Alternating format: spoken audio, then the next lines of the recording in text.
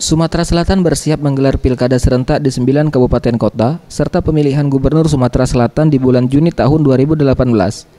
Berbagai persiapan telah dilakukan antara lain keamanan. Irjen Pol Agung Budi Marioto, Kapolda Sumatera Selatan mengatakan, jajaran Polda Sumsel akan mengerahkan 9.000 personil yang akan disebar untuk mengurangi angka kecurangan dan pergesekan antar masa selama pilkada berlangsung. Saya ingatkan tadi bahwa pilkada itu legal, bahwa pesta demokrasi itu pasti masyarakat akan memilih sesuai dengan hati nuraninya terbelah nanti. Kalau pilkada gubernur ada tiga calon, pasti terbelah juga jadi tiga, tiga, tiga, tiga, tiga, tiga apa yang akan memilih tadi. Harapannya adalah walaupun beda, beda pandangan, beda itu, kita menjaga persatuan dan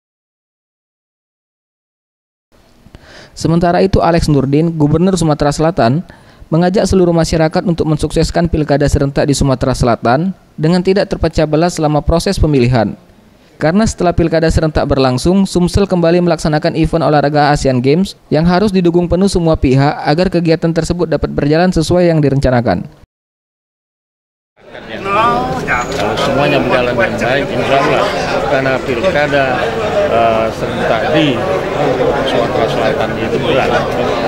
Kenapa berat? Karena kita menghadapi event internasional Asia dan sebelumnya ada LSDP, setelahnya lagi ada MotoGP. Jadi berat persiapan. Bayangkan pilkada kota Palembang minggu.